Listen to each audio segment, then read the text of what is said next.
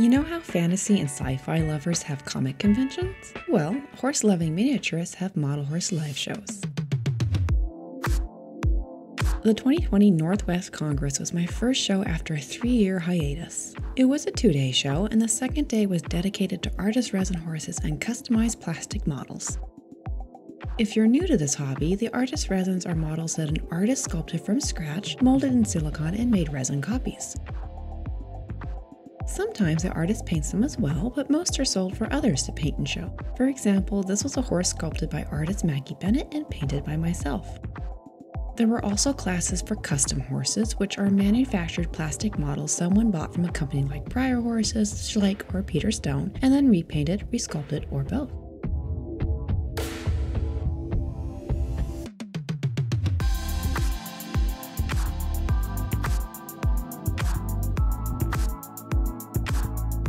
And finally, performance, which, if you're new to model horses, performance classes are sort of like diorama classes.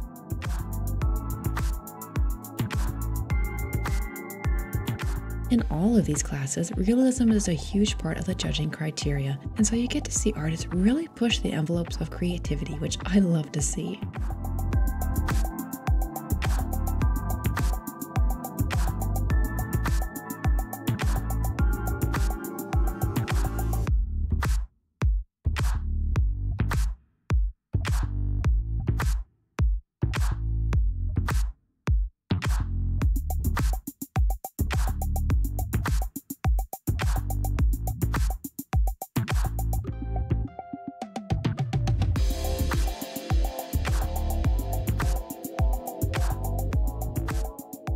The last show I went to was the Jennifer Show in 2019. I had three years to prepare for this year's show. This time, I would be showing more than mini customs and mini resins. I would also show a large scale custom and my first artist resin I sculpted and cast in resin myself. So, what do you take to a model horse show? First off, the models, which need to be in good condition so no hoof rubs or paint scratches. For resins and customs, this means no obvious seam lines and no scratches either. Every show requires some sort of model identification, such as leg tags. These are usually made from paper price tags with info like the horse's name and breed, the owner name, and it's usually attached to the leg. I pack all the models I plan to show into fabric pouches, which then go into a plastic tote.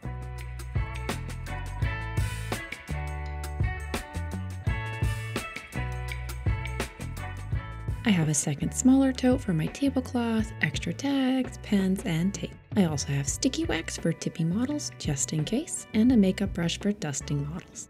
Finally, I also bring a binder that has a show class list, notes on which horses are showing in which classes, and documentation. Not every horse needs documentation, but if I'm showing a rare breed or rare color the judge might not know, I provide a short write up with photos of real horses. This sits on the table next to the model, and the judge can use that to decide if my model is a realistic interpretation of that reference.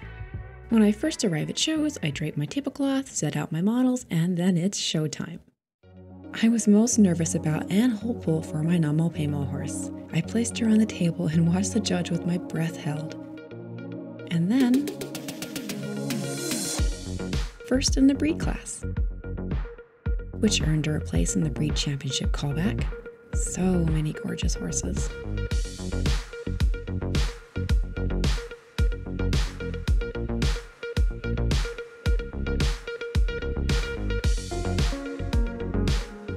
My NaMoPaiMo mare won Light Breed Champion, as well as first place in other color and champion pattern color.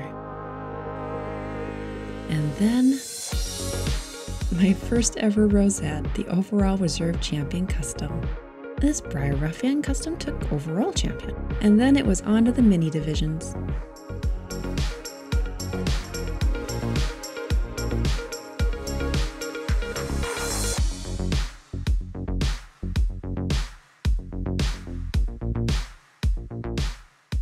My newest work did best, but some of my old work held its own.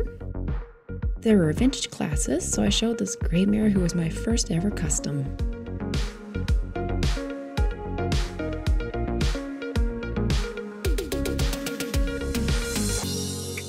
I have a few horses created by other artists, and my Breyer Appaloosa by Katie Langford won overall champion custom mini. This lovely Leaping Spanish Horse by Kristen Cermele won the overall reserve.